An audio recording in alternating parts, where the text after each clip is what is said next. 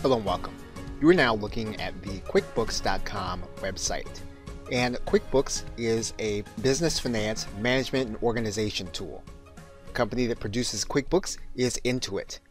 And Intuit also produces the app and software TurboTax. The Intuit company is now separate and distinct from the Quicken software, which is for personal finance. In fact, Quicken has a similar product called Quicken Home and Business made for sole proprietors who are running their business either from home or as a single person or small business. The main product is made to work as a cloud based service online. And it's designed to meet business owners at every level and then grow with their business. Software is designed to integrate into mobile operation. And in this course, we will work with the basic features of the software and we'll work through the major functions of each kind of transaction. One thing that QuickBooks is designed to prepare you for are the instances where you will need to pay taxes. It'll also help you to work together with your financial professionals, including your accountant. In fact, by working through QuickBooks, you can often find consultation and individuals that will help you to work with making sure that your accounting is done correctly. And when done correctly, QuickBooks will tell you at a glance how your company is doing and whether or not you are making money as well as creating positive cash flow. Attorneys, advisors, and accountants, what QuickBooks is and what it isn't. Now, here are some things to consider before you consider using QuickBooks as the final word on your financial performance. Now, QuickBooks will not magically make you compliant with taxing authorities. It won't necessarily mean that you're accomplishing the financial goals that you want, and it won't necessarily protect you in the case that you are sued. What is most prudent to do before you set up is to speak with the triple A's. The triple A's are an accountant, an attorney, and advisor. This will affect how you set up your QuickBooks software and what it is actually telling you. It may even affect what version you choose to purchase. Advisors. Your financial advisor will help you to determine what your business needs to do for you to help you to attain your financial goals. It will affect how you choose to report your earnings. Now, your business advisor will help you to determine the best way to structure your business to attain these goals. They can help you to do so according to the lifestyle you're looking to attain in the future. And once you've had substantive discussion with both business and financial advisors, you will then be ready to speak with an attorney. Attorneys. Your attorney will help you to determine whether or not everything you're doing to meet your financial goals is legal. They will make sure your business entity is structured correctly. They can also help you to protect yourself in the case that you may be sued or that taxing authorities are uncomfortable with what you're doing. They can advise you of potential risks and how you choose to execute your business and financial plans. And once you've had substantive discussions with them, you would then be ready to speak with an accountant. Accountants. Your accountant will help you to make sure that you're doing the correct kind of reporting for the entity you've chosen. They will make sure you don't have surprises at tax time. They can help you to set up your bookkeeping so that all you need to do at tax time is turn over your QuickBooks file. They can make sure that you are tracking both your income and expenses correctly. They can advise you on how to use your cash flow wisely given your tax status. Having this discussion before your initial setup can be beneficial to you so that you start correctly. Remember, every situation is different and could determine how you report your revenue and expense on QuickBooks.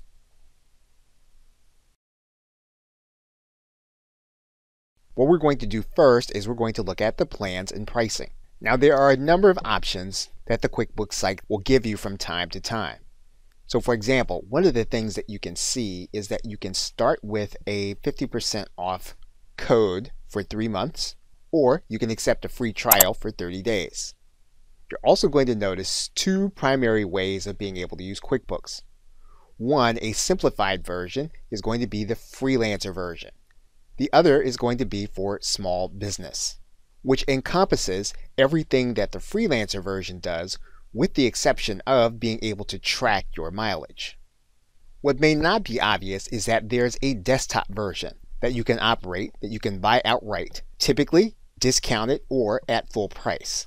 So if you're comfortable using QuickBooks in a cloud-based version, you can start cost effectively by accepting the trial of one of the versions that are most likely to fit your needs. Now something else important to note is this. If you're looking at QuickBooks Self-Employed, or you're looking at the Essentials, or you're looking at the Online Plus, you'll notice that if you want to track your inventory, that's going to be most effectively done using QuickBooks Online Plus. The other thing that you'll want to see is that if you have to prepare 1099 statements for contractors, again, that's going to be most effectively done using QuickBooks Online Plus. The other thing that you'll want to take note of is that QuickBooks Self-Employed is a totally different platform than QuickBooks Online or QuickBooks Online Plus. Both Essentials as well as Plus operate on a small business system. The self employed system is a different one, and you will not be able to integrate these two sections. So you'll need to make a decision about which one is going to be best for you at the beginning. Welcome back. Now it's clear that QuickBooks Desire is for you to subscribe to their service over time as opposed to making the one-time purchase of their desktop software. There are some substantive differences that you'll want to be aware of. The most obvious is going to be that you're going to be able to work from your smartphone or from your PC using the cloud-based service as opposed to the desktop. You will not be tied to the file or the machine that you're working on. Also, you're going to be able to give access to an accountant to your online account that limits them in terms of what they can see, but yet allows them to do the work they need to do. It's quite possible that all you really need are going to be these four things invoices, sales and expenses, manage your accounts payable, and then your tax reports. If that's the case, you're going to have the same effect whether you use the desktop version or online version, and then you would pay one time for the desktop. Now, the other thing you're going to want to be aware of is that with the online version that you see on the left-hand side, that you can download your bank transactions, and you can do that automatically using the cloud-based version. You're going to run into a charge if you choose to use the desktop version. So if you're currently a desktop user, most of the advertising that QuickBooks is doing is going to be to attempt to move you to the online version. Now, if you've not started using QuickBooks, you'll want to make your decision based on the services that you are going to need. Now, if indeed you have a desktop version and you need to move everything into the online version, you can do that. There are steps to follow, and it's all on the QuickBooks website.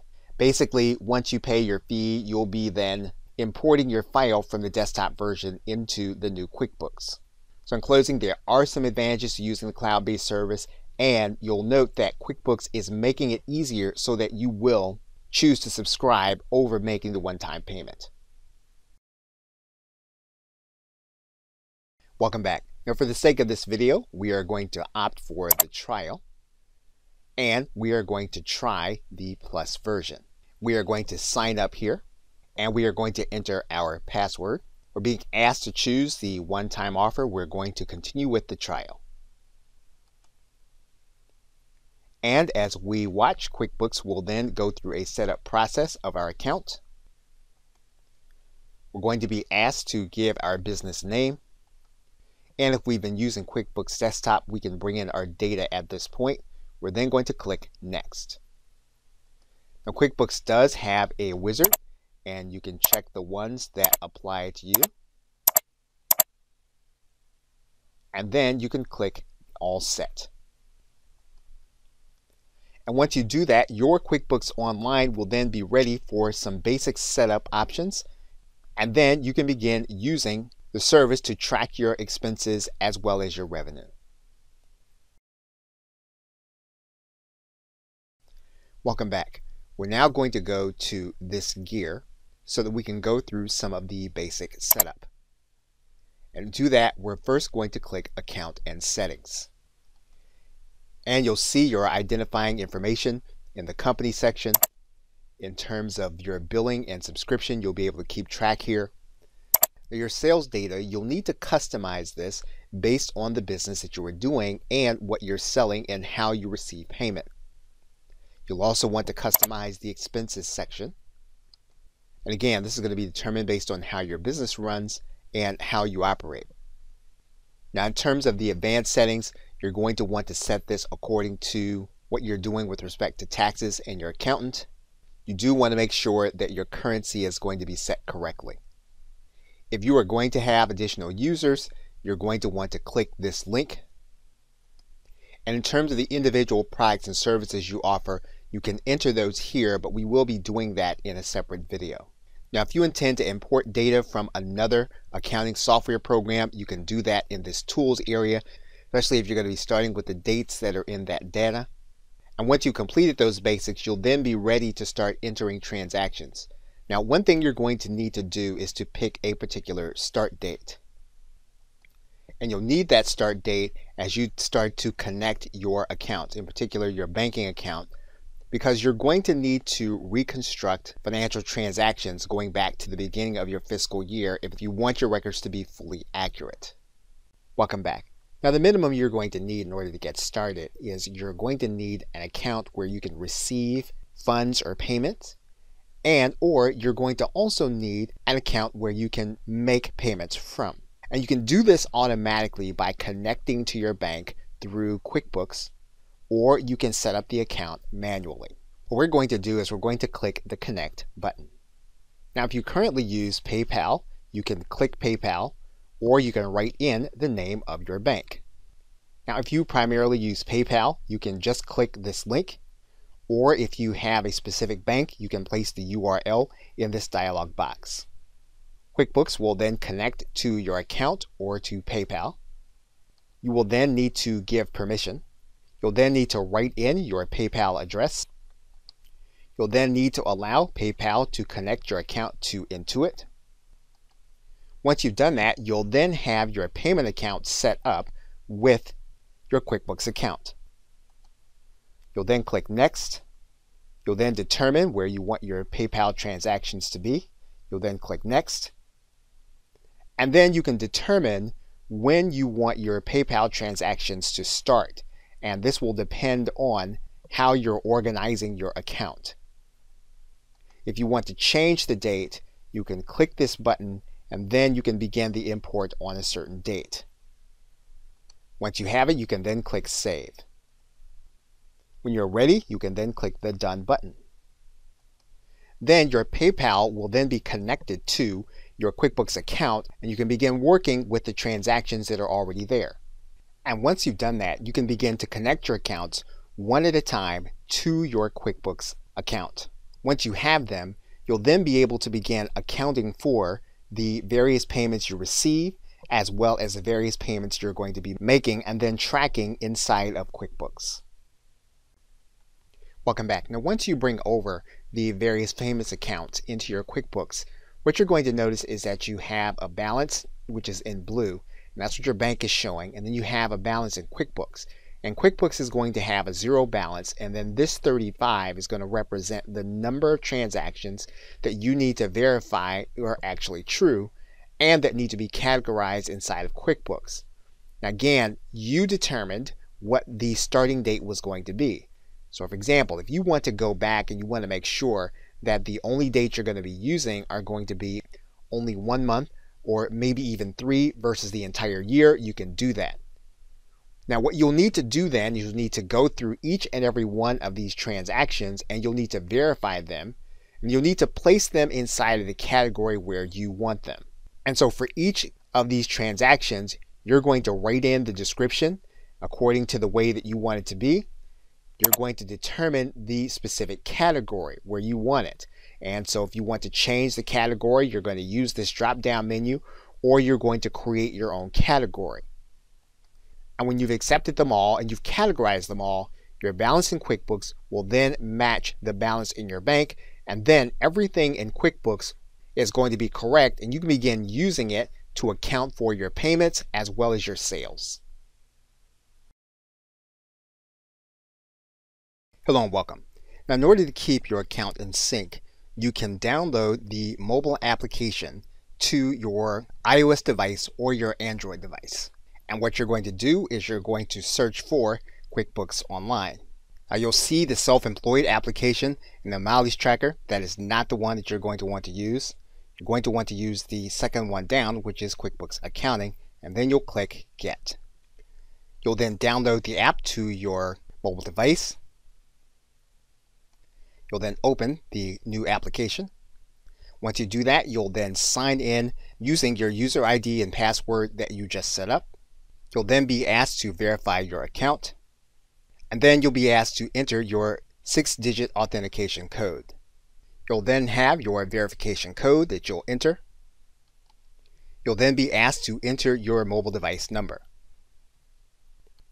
Now for the sake of the video, we just skipped adding our mobile device number. You can choose whether or not to allow notifications. And then your mobile device will then be ready to sync with your online account. Welcome back. Now, as of the recording of this video, for the small business application of QuickBooks, there is no mileage tracking application available using your mobile device. That means then that unless you have the self-employed version of QuickBooks, you're going to need a third-party application. So what we're going to do is we're going to log back into QuickBooks. Once you're logged back in, you're going to go to the left side menu and you're going to click on this area that's called Apps. And what we're going to write in here is we're going to search for mileage tracking. Now you're going to be able to integrate several applications to your QuickBooks software.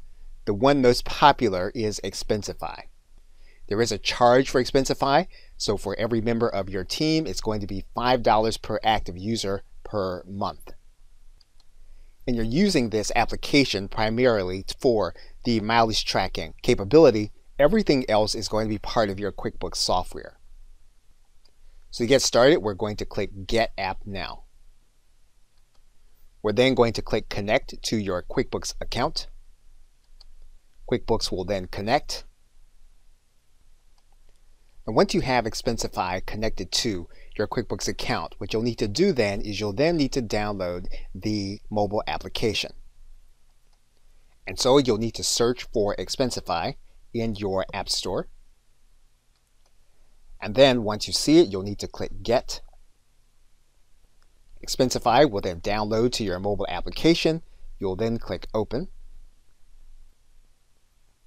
You'll then want to write in your QuickBooks login and password. Then, in order to track your mileage for a trip, what you'll need to do is you'll need to click the plus button at the top. And what you can do is you can then manually create the distance or you can use the odometer. So for example, if we were to choose odometer, we would then put in our starting reading for our business trip. We then put in our ending reading for our business trip. And we would then click Save. Our trip is then automatically logged in on our Expensify application. Expensify also gives you the capacity to take a digital image of your odometer. Now, for the sake of this video, we are not going to take the camera image. However, it is available as you can see. And you can then determine how you are going to report this to your QuickBooks application depending on your entity as well as how you are handling mileage on your taxes. Welcome back. Now that we have our payment account set up, we can now begin accounting for payments made to us for products or services that we sell. So let's assume that you sold a service. And what we want to do first is to make sure that we have that service set up inside of our QuickBooks. So what we're going to do is we're going to go to the sales category. We're then going to go to products and services and we're going to set up a new product or service that we sell. So we're going to click this new button. We're then going to set up the product or service according to the category that it best fits. Now in this case, we're going to set up a service that we are selling. We're going to give that service a name and a category. And we're going to write in the category here. And because it's a new category, we're then going to save the category. We're going to leave this information ticked. I sold this product or service to my customer. we can then write this in so that it appears on sales forms. Now in this case, we're not going to write it in, we're going to write in our price. Now if we were purchasing part of the service from another vendor, we can tick this and then we can fill in the fact that we're going to be assigning a cost to that service. We're not going to do that in this case. What we're going to do now is we're just going to click Save and Close. So you'll notice now that we have a service available that we can sell at $797 to any of our customers. But let's assume then that we have a meeting with a customer and they make the upfront payment for our services. So what we're going to do is we're going to go to this customer area. We're then going to select the customer. And although we have existing customers, we're going to create a new customer. In this case, we're just going to write in this customer's name. And then we're going to save the customer. Now we're going to create a new transaction for this customer. And to do that, we're going to go to this drop down arrow and we're going to create a sales receipt since we have received payment from the customer. We click that button, that's going to bring us to the screen. We're then going to designate the service that we rendered to be paid. We're going to select this service. And you'll see then that the rate auto-populates. For example, if we choose that we're going to state that we actually received two levels of the service, we can do that. Then the service will auto-populate in this case. Now, when we do this, we need to determine how the customer is paying. And let's assume that that customer paid us with cash. What we would do then is we would say we're going to deposit that payment either to our bank or we can assume that they sent that payment to PayPal. We're going to say that we're going to deposit this to our bank. And now what we're going to do is we're going to click Save. And you'll notice now that we have a receipt that has been saved.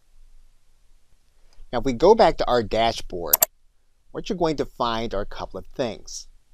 First, you're going to notice that your bank is going to reflect that it has a balance of $22, but yet in QuickBooks, we have accounted for the transaction even though we haven't reconciled our bank to that transaction.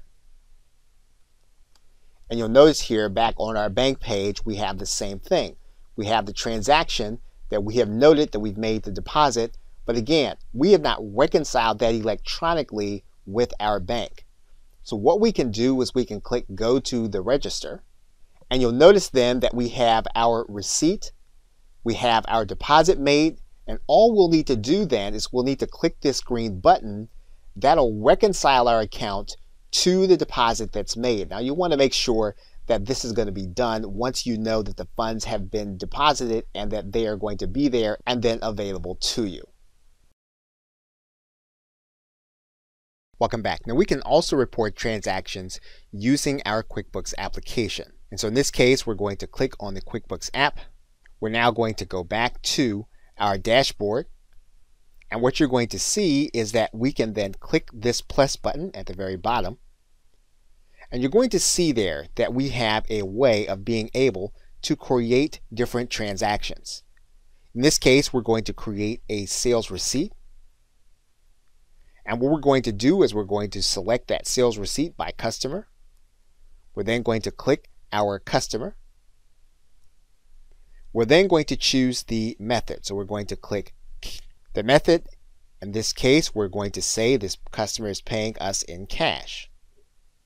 And then we'll determine where the cash is going to go. In this case, we're going to say that cash is going to our bank. We're then going to add in a line item and we're going to call it a certain kind of consulting. We're then going to click add. Once we've done that, we can then save the transaction. Now, of course, if we want to, we can place a reference number there, but we're just going to go ahead and save the transaction. Once the transaction saves, we can then go back to our desktop. And we'll then see the additional amount reflected in our QuickBooks balance. And once again, we'll need to reconcile our bank balance to get these two totals to match. And you'll see them here on your banking screen. Welcome back. You can also pay a vendor manually other than those that come through on your statements. And so to do that, what we're going to do is we're going to go to the expenses area. But first, we're going to make sure that we have vendors set up. And so the first thing we're going to do is we're going to create a new vendor. And one of the things that we can do here is we can give this individual a billing rate. What we can also do is give this individual an email address. And then we can save this individual as a vendor. Now, one of the things that you'll notice here at the bottom is we can track these payments for 1099 if that is needed. Now, in this case, we're not going to do that. So let's assume then that we make a payment to Richard Johnson. We're going to go inside of him as a vendor. And you're going to come to this screen, and what we're going to do is we're going to go to a new transaction. We're then going to write in here that this is going to be an expense. We're first going to determine where the funds are going to come from. Let's assume then that we're going to pay Richard cash and we're going to pay it from our bank account. So we're going to have that here. So of course what we're then going to do is we're going to assign this to a specific account. We're going to write in a description. Now what we're going to do is we're going to assume that we just paid a flat fee. So we're going to write in here an amount. And then we're going to come down to the bottom and we're going to go to this arrow and we're going to click Save and Close. Now what you'll notice then is that Richard has been paid $205 from our bank account. And you'll notice then a reduction in our QuickBook balance by that amount of $205 and you'll see that right here. You'll also see that as we write in our expenses that we have $205 of our expenses for this month associated with contractors. And so we can manually track our expenses both manually as well as those that come through on our statement when we reconcile them. Welcome back. We can also undertake the same process on our mobile device. What we'll need to do is to go inside of our QuickBooks app. We'll come down to the bottom and then we'll look for the plus. We'll click it and you'll notice right in the middle, we can then click into an expense. You'll then see that we have a new expense. What we're going to do is first, we're going to determine how we paid for that expense. So in this case, we're going to say that we paid cash. And so we select other. We're then going to write in an amount. And then we're going to select an account that we're going to take this from. In this case, we're going to take it from our bank account, not from our PayPal account. We're then going to write in who we actually paid. And then we're going to write in what kind of expense. In other words, what category are we going to place this expense in? Once we write in any other identifying information, we can then click Save. QuickBooks will save our transaction and then we have entered this expense into QuickBooks on our mobile device. Now we'll see the expense on our desktop. And what we can do when we are back at our desktop is we can enter and edit this transaction. And you'll notice here that because we declared other, there was no payment method. So we're now going to declare that this is going to be cash. What we're going to do now is we're going to click Save. Our transaction is saved and now we can save it and close it. And our expenses now reflect the correct amount. One of the useful features inside of QuickBooks is that you can capture your receipts as soon as you get them. And you can do that by using your mobile device. And so as you spend and as you get receipts, one of the things that you can do is you can click the plus button. You can then click your expense button. And one thing you're going to notice right at the top is you're going to see the camera at the top left. What you're going to do is you're going to click that button.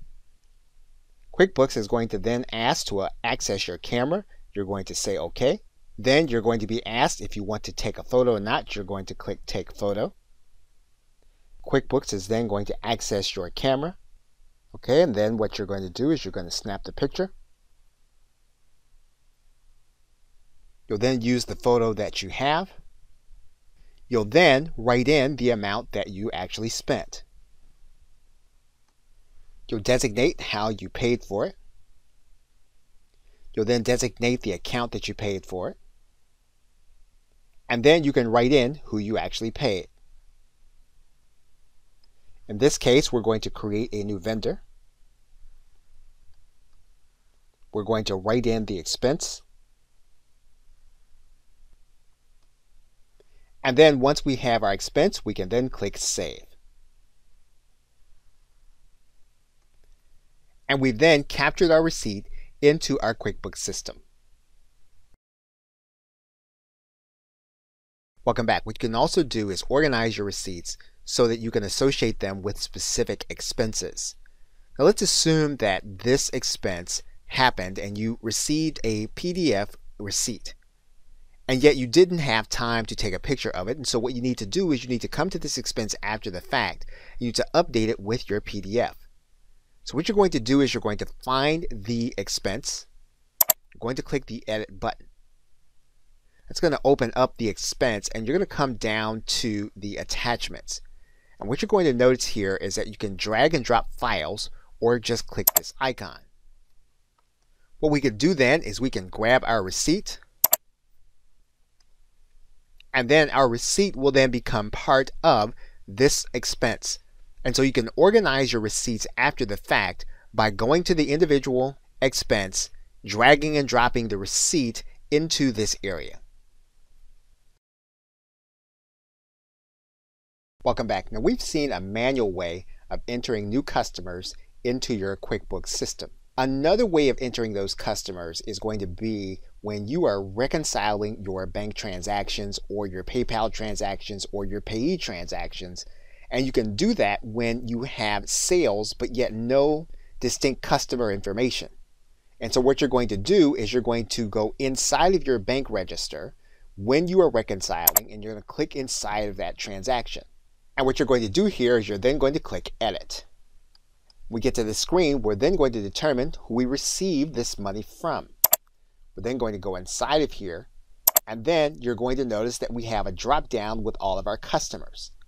However, what we also have here is we have a plus button. We're going to click Add New. And then we're going to write our customer in here. We can write in any identifying information. We can put as much detail in as we'd like. And then we're going to click Save. Once we've done that, we can then save the transaction. And you'll notice here that our new customer is now in the list with all of our other customers. Welcome back. Now, one of the ways that you can be paid by someone that you're doing a service for is you can invoice them once you've completed the work. And QuickBooks will allow you to customize an invoice and then send it to the individual by email. And you'll see here in this screen that we have, which has a wizard that will take you through the process. Now QuickBooks will give you control over the look of your invoice. You can place your colors, you can change the font, you can even add your logo in here to do what you want it to do. You can change the content of your invoice just by clicking on the inside, writing in what you want it to be you can determine what your invoice email is going to say to the individual when they receive it. What you can also do is you can allow your customer to pay online. So in other words, they're going to receive the invoice online, you can have them pay online, and then everything is taken care of inside of QuickBooks. Now for some reason you don't see the wizard, you can go to the sales area, you can then go to invoices. And you'll see here in the tip area at the very bottom, you get a link where you can customize your invoices. So in this case, we're going to click send your first invoice. Now again, if you want to be set up so that your customer can pay you online, you can do that through QuickBooks. Otherwise, what you can do for the invoice is you can choose the customer. You can place their email in the box. You can determine the terms on which they need to pay you. And then you can determine the due date. You can then indicate when the service was actually performed. You can determine what the service was, and you can write in the actual description. What you can do also is you can determine whether or not this is going to be a recurring situation or not. You can then make this a recurring invoice so that it goes out at the same time every month. What we're going to do now is we're going to click Save, and then we're going to click Save and Send. Then your email will be sent along with your invoice to the customer. And once again, we did not set up for online payments, so they will need to pay you manually. Welcome back. Now let's assume now that the individual that you sent the invoice to has paid you. They didn't pay you online, they decided to give you cash. So what we're going to do is we're going to go to our sales area. We're then going to go to the invoices. What you're going to notice then is that we have our outstanding invoices here on this page. And what we're going to do now is we're going to receive payment. So we're going to click receive payment. And we're going to determine the payment method. We're going to say they paid us in cash. We're then going to deposit it into our bank, although we have the option of depositing it into our other account.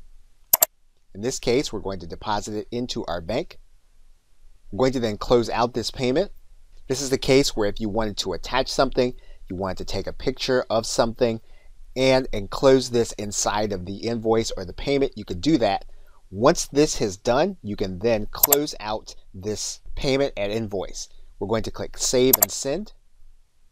And what we're going to do now is we're going to send a receipt to the individual that they have now paid.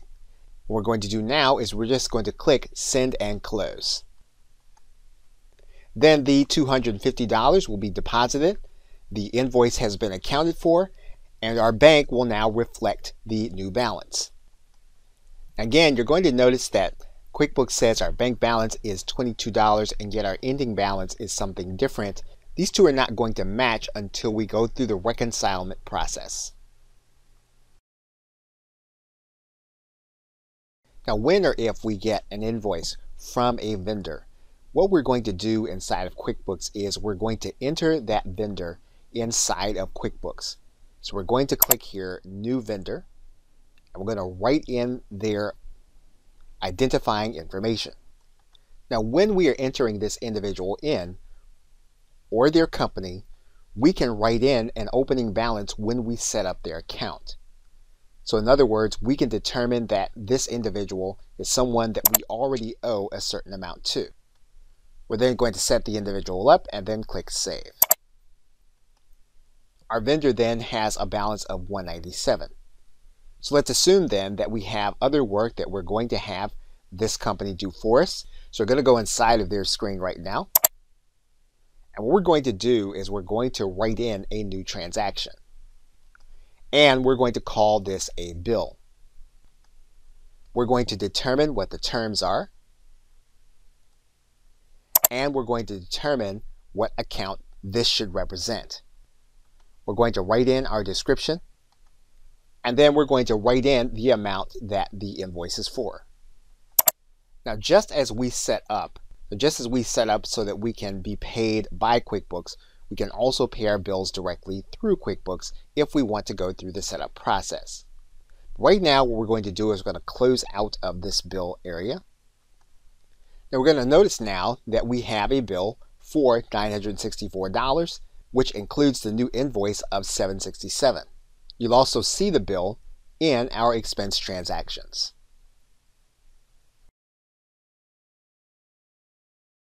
Welcome back. Now if we go back to our expenses and we were to go to our vendors, if you recall, we owe one vendor for more than one invoice. If we go in, we notice that this total is going to be $964. So what we're going to do is we're going to pay this vendor, but we're going to pay this vendor more than the 767, but less than 964. And what we're going to do first is we're going to pay the 197, which was the previous balance. And so what we're going to do is we're going to click either of the make payment buttons. and that's going to bring us to this screen. So what we're going to do is we're going to partially pay the second bill. So in this case, We're going to pay less than the full payment. We're going to make the payment from our bank account. And then we're going to click Save and New. You'll note then that when we come back to this vendor's account, we still have a balance of $130. However, we've paid on these invoices and we're tracking the balance inside of our QuickBooks. Welcome back. We have now walked through all of the basics of getting set up on QuickBooks. You've seen now how to set up payment accounts for your bank or PayPal. You can use the same structure in order to set up credit cards or any other payment account. We've seen how to track sales, those you enter manually or those that come over through your bank and those that you have to edit in order to change. We've walked through how to account for expenses, those that you spend, those that you need receipts for, as well as those that you pay by invoice. We have set up and sent invoices, and we've also set up customers that we are going to be working with. On the other side, we've also set up our vendors in order to work with them. We've also walked through the process of tracking mileage using the third-party app Expensify, and we've also walked through the process of using the QuickBooks mobile application.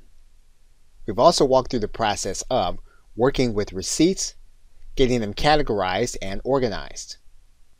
And we've walked through the basics of each plan so that you can determine which one is going to be best for your needs.